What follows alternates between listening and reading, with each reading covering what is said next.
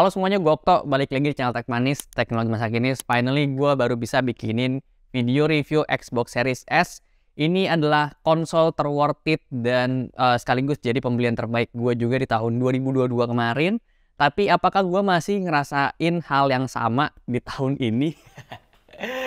well, uh, karena si Xbox Series S ini menurut gue adalah konsol yang mulai rame belakangan ini ya, walaupun dia tuh nggak ada resmi Indonya tapi karena harganya murah, banyak dari kalian itu yang tanyain uh, dan yang beli juga juga banyak ya.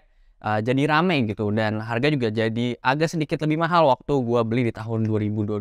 Ya pembahas ini akan jadi menarik sih menurut gua karena ada dua perspektif ya yang gua rasain di sini uh, bisa jadi worth it, bisa jadi enggak, tergantung uh, kalian dari perspektif yang mana. Nah, kebetulan gue kayaknya udah ngerasain dua hal tersebut deh untuk saat ini. Jadi kita akan bahas langsung aja masuk ke videonya.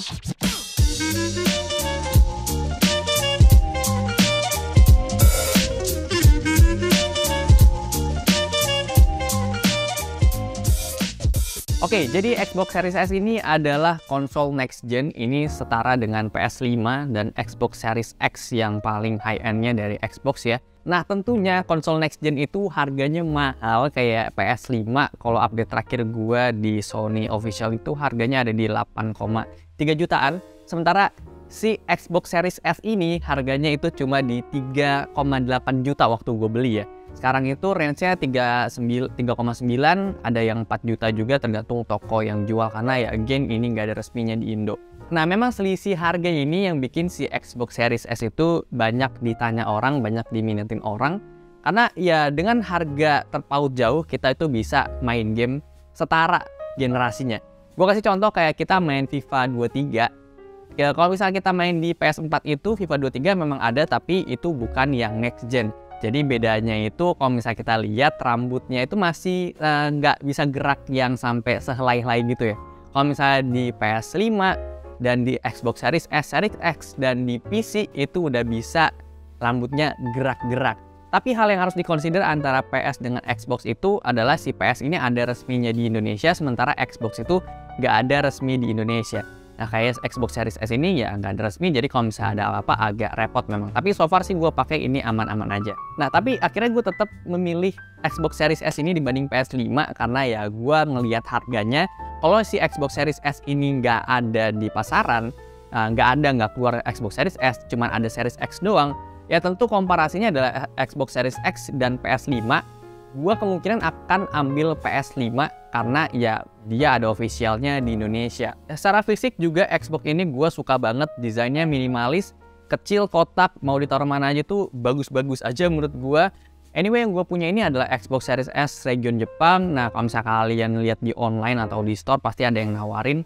Ada region Jepang dan ada region-region lainnya gue lupa apaan aja uh, yang ngebedain itu sih ada di colokannya dan setahu gua semuanya itu sama aja secara mesinnya nggak ada bedanya Xbox Series S ini dia only digital version, nggak ada yang bisa pakai kaset gitu. Kalau PS5 ada dua digital version sama yang bisa pakai kaset. Considernya ketika kita pilih yang digital version dan misalnya gua beli uh, game yang adventure gitu dan gua tamatin terus gua udah bosen, ya gua nggak bisa jual si gamenya secara fisik gitu. Kalau misalnya kita pakai kaset kan bisa dijual kasetnya udah bosan gamenya kita jual gitu nah kalau misalnya digital version ya kita bisa jual tapi jual satu akun itu bisa nah makanya di sini gue pilih si Xbox ini karena dia punya fitur yang Game Pass itu kita bisa subscribe uh, beberapa ratus game itu kayak Netflix kita bisa bayar per bulan. Nah dengan uh, subscribe sebulan itu kita bisa pilih banyak game dan ketika kita udah bosan gamenya kita bisa pindah ke game yang lainnya. Jadi ya udah kayak sewa aja gitu. Jadi untuk gue pribadi sih hal itu nggak terlalu masalah mau digital version atau yang pakai kaset uh, ya nggak kenapa-napa karena gue pakaiin juga Game Pass. Mungkin yang harus dipertimbangkan lebih itu adalah si storage dari si Xbox-nya sendiri ini cuma 512 GB dan nggak ada varian lain juga. Jadi kalau misalnya kita download game itu ya game-game yang berat paling cuma ada bisa 6 game kali ya. Ini gue coba lihat game gue tuh cuma ada 1, 2, 3, 4, 5, 6, 7, 8, 9 9 game. Ada Far Cry, UFC, uh, eh, FIFA, ada F1 dan Apex. Untuk harga si Game Pass-nya sendiri per bulan itu emang ada di sekitaran 200 sampai 300 ribuan ya, uh, sekitar 14,9 dolar. dan sebetulnya juga ada sih yang jual kayak di Tokped gitu. Tapi itu kayak gue nggak tahu ya legal atau enggak. Pastinya sih ilegal kayaknya ya. Karena hmm, kadang tokonya juga suka hilang tapi dari sekian banyak game di Game Pass itu nggak semuanya untuk next gen. Jadi ada beberapa game yang uh, ke bawah dari Xbox One Xbox uh, bawah-bawahnya 360 juga ada seinget gue jadi banyak gamenya. Uh, kalau misalnya kalian mau main yang next gen itu yang tulisannya ada optimized for uh, Xbox Series S dan Series X. Nah itu udah pasti next gen. Nah Game Pass juga itu pilihannya banyak, ada yang Ultimate, Gold, dan lain-lain. Gue juga nggak hafal, pokoknya gue pakai yang Ultimate karena biar bisa connect sama EA Play juga. Uh, itu gue bisa mainin game-game EA Play juga beberapa. Nah, tapi ya itu dari kalau misalnya EA Play yang paling baru itu nggak include sama Game Pass biasanya kayak FIFA itu include tapi kita cuma dikasih jatah main 10 jam aja. Dengan game yang sebanyak itu di Game Pass sementara storage-nya cuma sekecil itu 12 GB emang ini agak bertolak belakang uh, gue makanya cuma bisa download 9 game tapi ya gue mainnya itu itu doang. Ketika gue bosan ya gue uninstall dan gue coba download game baru. Makanya butuh juga internet kenceng. Kalau internet kalian lama ya emang ini agak-agak juga sih jadinya. Tapi kalian juga punya opsi untuk upgrade si uh, storage-nya. Xbox ada extensionnya gitu tapi harganya lumayan mahal ya setahu gue dan ada juga sih katanya bisa pakai hard disk eksternal biasa jadi untuk uh, nyimpen gamenya dong ketika kita pengen uh, pakai gamenya ya kita tinggal panggil aja tapi kita nggak bisa main di harddisknya jadi kita tinggal import importnya gitu tapi gue nggak pakai itu. Nah enaknya pakai konsol ketika gue download game itu gue nggak usah pikirin kayak eh ini minimum requirementnya berapa ya? Ini nge-lag gak ketika gue download dan gue mainin nantinya? Nah itu enaknya konsol dibanding gue beli PC harga 4 juta yang ya pasti gamenya terbatas banget. Gue nggak tahu 4 juta itu bisa dapet apa untuk mainin game triple A gitu Nah, tapi itu tergantung juga sama kebutuhan kalian. Kalau misalnya kalian punya budget 4 juta, paksain untuk rakit PC dan tujuan PC-nya itu cuma untuk main game, um, ya gue rasa konsol Xbox Series S ini jadi uh, pilihan terbaik untuk kalian. Nah, itu juga yang jadi turning point gue untuk putusin beli Xbox Series S ini. Jadi gue tuh beli Xbox Series S ini ceritanya berdua sama cewek gue patungan ya. Jadi si cewek gue ini alasan pertamanya pengen punya gaming device di rumahnya karena dia itu user Apple ecosystem. Semuanya itu pakai MacBook dia pakai iPad pakai PC-nya dia itu pakai iMac jadi ya main game itu susah banget. Nah dari kasus ini akhirnya gue langsung saranin ke cewek gue mending beli si Xbox Series S ini aja dibanding lu harus rakit PC uh, PC Windows lagi gitu kan. Kayak ya buat apa lu juga nggak kerja di PC itu? Lu kerjanya kan di iMac atau di MacBook lu jadi ya langsung aja beli uh, si ini Xbox Series S harganya murah dan udah bisa mainin game next gen. Dan waktu itu gara-gara tuh main It Takes gue inget banget main It Takes Two berdua kayak main di rental terus kan eh ketagihan gitu pakai apa ya mainnya ya udahlah beli ini aja buat di rumahnya dia kalau di uh, studio gue kan bisa pakai PC gitu main It Takes Two-nya. Nah itu alasan gue kenapa beli Xbox Series S ini itu perspektif gue di tahun 2022 bilang ini worth it banget dan super super uh, kepake lah di saat itu. Cuman seiring berjalan waktu 2023 ini uh, baru beberapa bulan uh, beli Xbox Series S uh, karena gua emang selalu pakai uh, PC terus ya gua main game itu Apex Legend ini si Xbox malah ditaruh di studio bukan ditaruh di rumah cewek gua di sini itu jadi nggak kepake ya. Karena gue main game itu selalu di PC gue nggak pernah main game di Xbox. Makanya si Xbox ini gue bilang akan worth it kepake banget untuk kalian yang nggak punya komputer yang bisa main game gitu. Kayak di rumah cewek gue itu yang dia adalah Apple ecosystem user itu bener-bener kepake banget pastinya. Cuman sama dia mau ditaruh di sini karena waktu itu dia ke Singapura ke UK uh, eh, kuliah lama jadi nggak kepake di rumahnya dan gue pindahin ke sini. Dan ya bener aja di sini tuh jarang banget gue nyalain Xbox-nya. Jadi itu dua perspektif menurut gue si Xbox ini bisa kepake bisa enggak tergantung kalian itu kayak gimana kalau misalnya kalian punya kasus sama kayak cewek gue gitu, ini akan jadi worth it banget. Dan kalau misalnya kalian punya kasus kayak gue yang punya PC, terus ditaruh si Xbox-nya di sini ya, itu nggak akan jadi worth it lah. Ya itu cerita gue sih soal si Xbox ini. Dan anyway kita coba bahas si Xbox-nya lagi ya. Jadi Xbox Series S ini ketika kita beli di paket pembelian itu kita dapat satu controller, uh, controllernya kayak gini. Yap, ini yang punya Xbox Series S, uh, X itu warnanya hitam kalau nggak salah deh ya dan gue juga punya ini yang Xbox One ya uh, ini gue beli untuk di uh, ah, PC gue waktu itu ini gue belinya OEM OEM gitu deh uh, bukan yang ori banget jadi ini juga udah rusak nggak bisa pakai wireless tapi kalau wired ini bisa. Nah kalau ini sih aman-aman aja dan gue ngerasa beratnya juga beda sih. Nah gue emang udah kebiasa banget sih pakai stick Xbox layoutnya gue suka hmm, karena gue main di PC tuh selalu pakai Xbox nggak pakai stick PS ya. Ini juga beli yang Elite Series, Xbox Elite Series. Wah ini mantep ini si Nino yang beli. Ini juga enak banget sih dipakainya. Banyak button-buttonnya kayak bisa ngecheat gitu. Buat main game di PC juga ini super enak dan ini juga bisa main di Xbox, bisa main di PC. Jadi emang kita punya controller itu mostly Xbox. Nah fitur-fitur dari si Xbox Series S ini juga menurut gue udah oke okay banget. Kita bisa ada namanya Quick Resume, itu kita bisa pindahin dari game ke game itu secara cepat ya dan lanjut gitu. Kita nggak harus loading screen lagi. Nah, jadi kita bisa lanjut dari terakhir kita ninggalin gamenya itu. Bahkan kalau kita lagi shutdown si Xbox-nya, terus kita mainin, itu kita masih bisa lanjut juga. Itu karena si Xbox Series S ini walaupun di shutdown, dia itu bukan yang mati total, tapi kayak nge-sleep gitu. Jadi ketika kita uh, onin lagi, masih bisa lanjut. Dan ketika lagi di mode shutdown ini, dan kita pengen main, kita tinggal ambil sticknya aja, kita ambil controllernya, kita pencet, itu udah langsung on, tanpa kita harus pencet tombolnya lagi.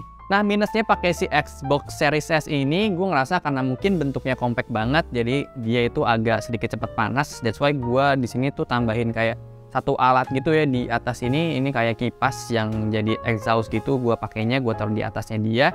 Ini gue beli merek lokal itu namanya Suncell kalau misalnya kalian tahu juga dia ada beberapa um, model kipas itu bisa untuk uh, laptop dan lain-lainnya.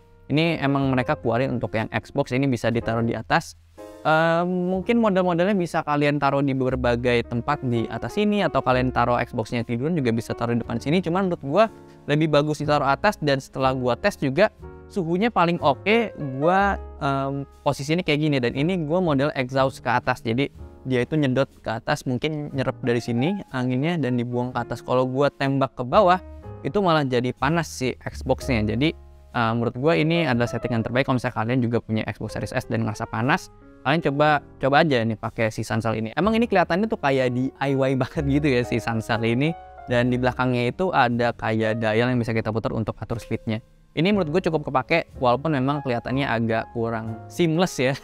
Desainnya sama si Xbox ini kayak udah minimalis tiba-tiba industrial.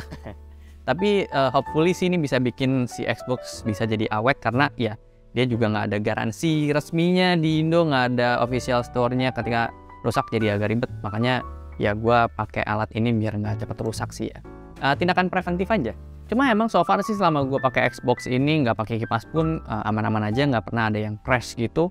Uh, tiba-tiba main nge-lag terus keluar dari game itu nggak pernah sama sekali. Ini aman-aman aja mau main Far Cry ditembak-tembak dibom-bom dibakar-bakar kayak gimana pun nggak nge-lag yang bikin sampai keluar game gitu gitu aja sih mungkin ini bener-bener cerita gue aja soal keputusan gue beli si Xbox Series S ini. Kalau misalnya kalian mau cari reviewnya sih sebenarnya banyak ya ada juga yang bahas Xbox Series S ini soal si Game Pass-nya itu itu bener-bener kayak pilihan yang paradox of choice seingat gue namanya itu yang ngebahas tangan belang ya itu dia ngebahas uh, apakah Game Pass itu worth it atau enggak dan emang gue juga kadang ngerasain hal itu Game Pass ketika kita dikasih banyak pilihan kita tuh malah nah, susah untuk milihnya gitu ya.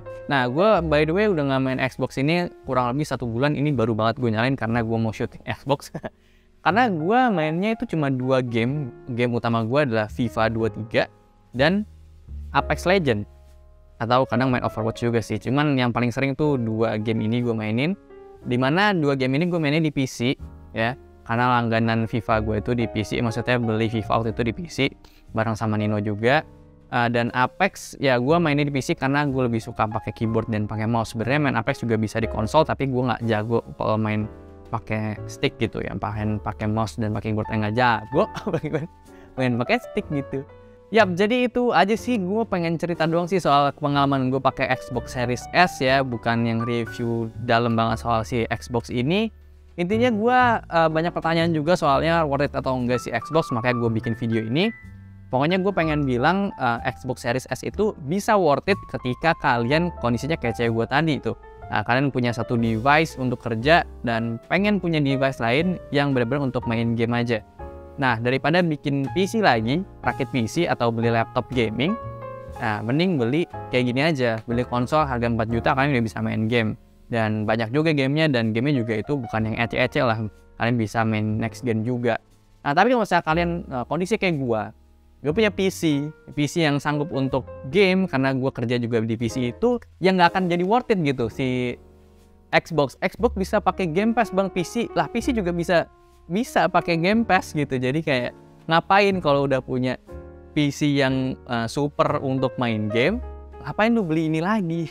Menurut gue itu agak mubazir, kecuali emang kalian ya bodo amat sama hal itu. Cuma kalau yang buat menang mending, ya pilihannya adalah ketika kalian punya laptop kentang atau laptop yang fokus untuk kerja aja, akan worth it banget untuk beli konsol menurut gue. Gitu, jadi ya sharing aja pengalaman gue soal si Xbox Series S, uh, kayak gitu sharingnya. kalau misalnya menurut kalian tuh kayak gimana, boleh sharing juga di kolom komentar DM di kita detek manis bebas pokoknya cerita-cerita aja santai um, ya by the way ini juga harganya jadi lebih mahal karena after pandemi gue nggak ngerti kenapa Xbox ini malah diminatin gitu. Banyak uh, yang beli Xbox Series S waktu gue beli. Ini gue belinya langsung ke toko di Mangga 2 uh, walaupun tokonya itu dia ada um, online-nya tapi ya gue pengen langsung datang aja. Uh, emang itu lagi banyak banget tuh uh, orderan Xbox Series S gitu di dia. Tuh mantep sih. Dan makanya sekarang harganya naik malah ya 3,9 OTW 4 gue belinya bener-bener 3,8 jadi ya segitu aja untuk video kali ini. Thank you udah nonton. Kalau suka boleh like share and subscribe. Atau sampai jumpa di video selanjutnya. Terima kasih. Oh ya soal region juga ini nggak masalah sih. Walaupun kita beli region Jepang ya kita bisa pakai region Argentina untuk dapetin harga game murah dan promo-promo murah. Bisa pakai region US dan mana pun bisa di settingan dalam Xbox-nya. Mantap, thank you.